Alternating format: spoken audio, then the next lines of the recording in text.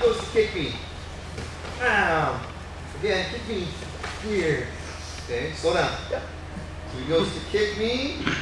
I'm gonna kick the leg he's standing on and turn his knee out. Okay, that's my main goal. When he kicks, bang, but I'm gonna kick here as well.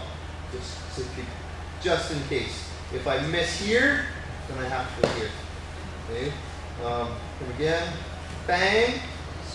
Freeze right there. Okay. Miss. This is gonna suck a little bit. The more I attack it, the easier it's gonna be on me. Okay, So if I go here, that's the easiest. The nice thing about this, go to the leg so you can see, please. Bang. Is if I turn the knee out, it's quite safe on that knee.